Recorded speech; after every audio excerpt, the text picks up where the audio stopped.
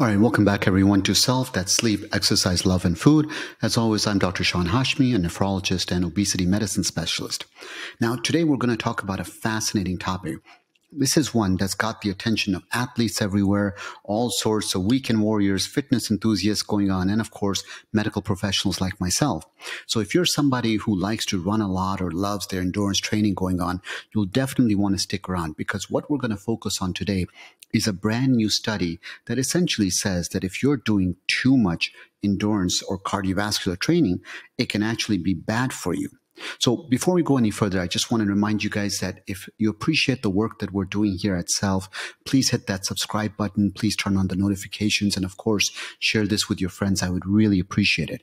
So let's dive in. There's a new study called the Master at Heart study. And what it's basically saying is, is challenging the common belief that exercise is always good for your heart.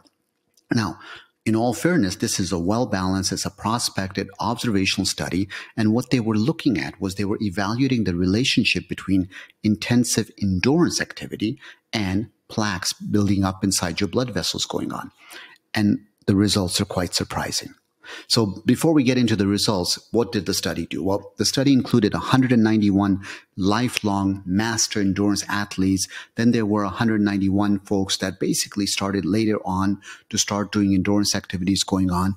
And their control was 176 healthy, but non-athletes who did a little bit of stuff, but nothing intense. And they actually had very low cardiovascular risk profile. So in other words, you're not comparing this to sick individuals. You're actually comparing it to equivalent healthy folks going on.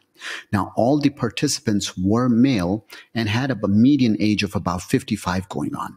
So the study found that lifelong endurance athletes actually had more coronary plaques, including more non-calcified plaques than fit healthy individuals who had a similar low cardiovascular profile.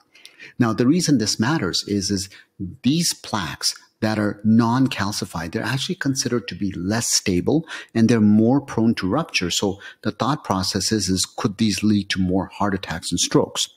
But before we, we sort of get all bent up into shape about this stuff going on and, and dive too much into it, you know, a lot of people think that with all things, there might be sort of this J shaped idea where if you do too much of something, it might be bad. But, and this is really important, this study only looked at the relationship between exercise and plaques inside your blood vessels. It did not measure any cardiovascular events. So in other words, it didn't measure if those folks got heart attacks or not going on. In fact, if you start to look at the data, and there are so many studies, the one that was done in 2018, what they showed, and this was published in JAMA, what they showed was that cardiovascular fitness is actually inverses linked to long-term mortality and there isn't an upper limit of benefit. In other words, the more exercise you did, the lower your mortality was. And this isn't the only study. There's so much benefits to exercise going on. So for those of you guys who love to exercise, who are fitness enthusiasts out there, what is the take home message? Well, even though the Master at Heart study shows that there may be some concerns, think of the broader context of exercise going on.